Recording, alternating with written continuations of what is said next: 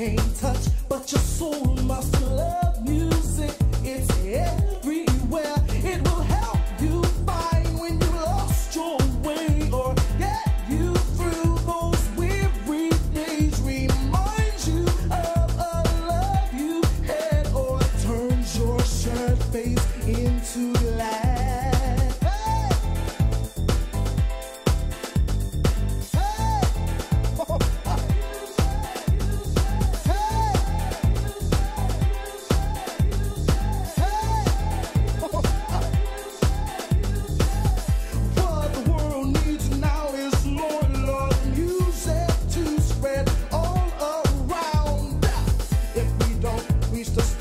with love